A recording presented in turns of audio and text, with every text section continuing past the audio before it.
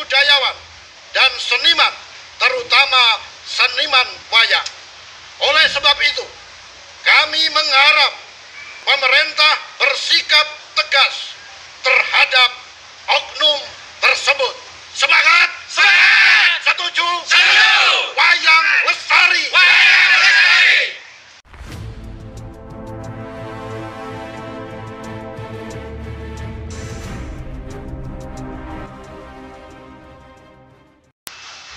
Assalamualaikum warahmatullahi wabarakatuh. Salam Nusantara, salam sejahtera untuk kita semuanya.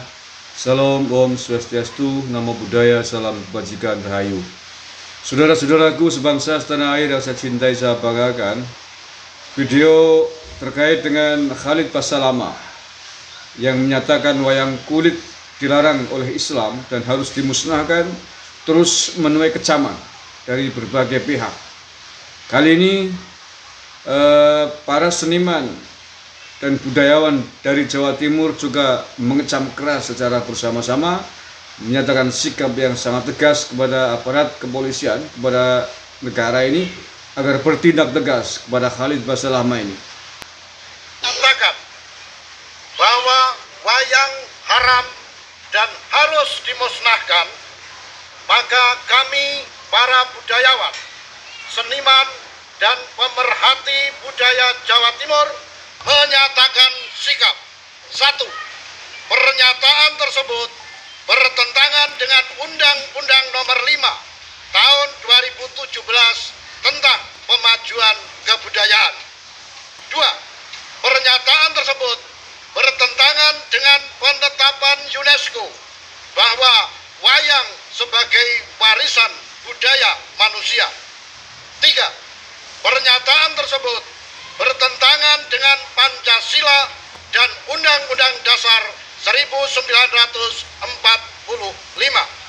Empat, pernyataan tersebut sangat menyinggung para budayawan dan seniman, terutama seniman wayang. Oleh sebab itu, kami mengharap pemerintah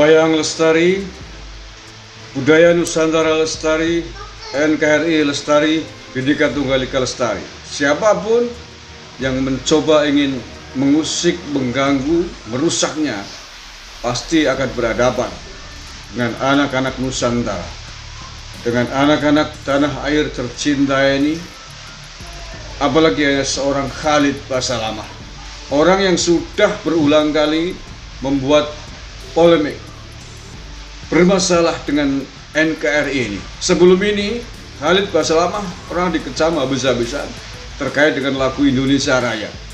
Ketika ia ditanya oleh jamaahnya tentang di, ketika diminta untuk menyanyikan lagu Indonesia Raya bersama-sama, bukannya kemudian Khalid ini memerintahkan untuk ikut menyanyi lagu kebangsaan itu, tapi justru meminta untuk diam. Memang kurang ajar yang namanya Khalid Basalamah ini. Melihat namanya Khalid Basalamah semua orang tahu. Bukannya berterima kasih diterima hidup tanah Nusantara ini di tanah merah putih ini tapi justru berulang kali membuat persoalan, membuat kegaduhan. Tidak hanya budaya Nusantara, tidak hanya simbol negara kesatuan Republik Indonesia yang ia tabrak, tetapi Nahdlatul Ulama dengan amalan-amalannya, dengan amaliyah aswaja nahdiyahnya juga sering ia tabrak dalam ceramah-ceramahnya. Oleh karena itu kemudian kalau kehadiran Khalid Basalamah ditolak di sejumlah tempat menjadi hal yang sangat wajar. Dan saat ini terkait dengan wayang kulit. Saya kira ini adalah titik kulminasi yang tidak bisa ditolerir lagi. Tidak perlu ada minta maaf, minta maafan. Negara harus hadir, pemerintah harus bertindak tegas dan cepat sebelum anak-anak Nusantara ini kehabisan kesabaran karena budayanya negaranya diinjak-injak oleh orang yang bukan pribumi, oleh orang yang bukan darah asli Nusantara ini. Sekian lama anak Nusantara menanggung kesabaran, menanggung diam. Tetapi bukan berarti berdiam dirinya anak-anak Nusantara ini bukanlah sebuah sikap lemah bukan berarti lemah, bukan berarti tidak berdaya, bukan berarti tidak berani melawan. Ketika satu kali aja melawan, anak-anak Nusantara ini habis. Orang-orang yang ingin mencoba membuat rusuh, menghina dinakan budaya yang kita miliki ini, budaya Nusantara tercinta ini. Mudah-mudahan aparat segera bertindak cepat. Ada laporan polisi atau tidak, tapi ini adalah sikap yang sudah sangat-sangat meresahkan, sikap yang sangat menghina atas khasanah budaya Nusantara, budaya yang diakui tidak hanya di Indonesia, tetapi juga di tanah internasional. Terima kasih. Wallahul. Assalamualaikum warahmatullahi wabarakatuh. NKRI. Harga mati.